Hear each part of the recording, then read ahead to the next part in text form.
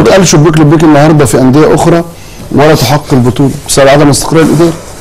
بسبب تدخل الإدارة في الشؤون الفنيه ما إحنا قلنا بقى المنظومة تكتمل. لازم تكون منظومة متكاملة. أيوه. مفيش حاجة اسمها عنصر والعنصر يبقى الأهلي ما. يفرغش الإسماعيلي. لا لا لا بس خد خد كتير و... سؤالي بس طب اللعيبة دي دلوقتي بتمشي ما بتروحش الإسماعيلي. ليه ما بنشوفش الغضب الجماهيري في الإسماعيلية؟ لما يمشي حد زي إبراهيم حسن أو زي بهاء مجدي أو زي كاميرون أو. زي عواد لأنهم مش مش إيه؟ الاهلي برافو عليك. بس. برافو عليك. هل على مستوى قطاع الناشئين والشباب يا كابتن عفروت كنتوا بتلمسوا ال- الجزئية دي في يعني في اللعب مع الإسماعيلي أو حاجة؟ آه طبعا. بس لعبت في الاسماعيليه. آه في نقطة عايز أتكلم فيها. لما اتفضل. كنا في فريق الشباب كان كنا مكسرين الدنيا مع كابتن محمد عبد العظيم. أيوه عظيم. والراجل ده مش واخد حقه خالص يعني. آه. للأسف يعني. مع إن معاه حاجات يعني مش عارف إزاي يعني. بصراحة ربنا يعني. كان محترف في المانيا بالظبط. آه.